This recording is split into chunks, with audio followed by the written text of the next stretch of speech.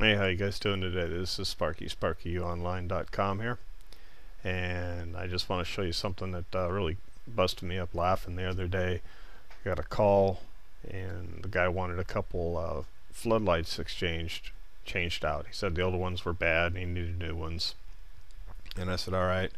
And I says, you know, talking to him on the phone, I says, what do you guys need? And he says, oh, just a couple new 500 watt quartz lights. So I said, okay, no problem. So I swung down to the big box store, picked a couple up, and headed on over there.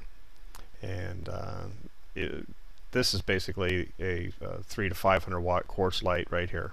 Okay, and for those of you who don't know, you can't touch these lamps with your fingers. They, your fingers give off an oil which will create a hot spot and it'll burn the lamp out easy. So this is just a standard 3 to 500 watt quartz light, 120 volt.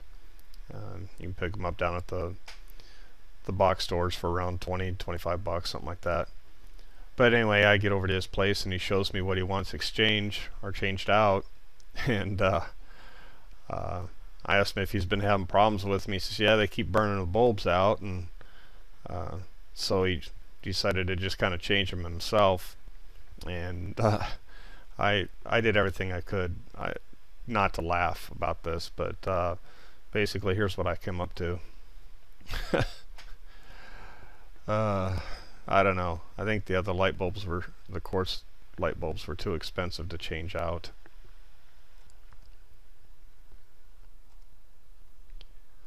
But anyway, uh, guys, everything I can do not to laugh my ass off over this one. So, uh, you know, that was before I opened it up. But, uh, yep, there's ingenuity at its best. Just another shot there.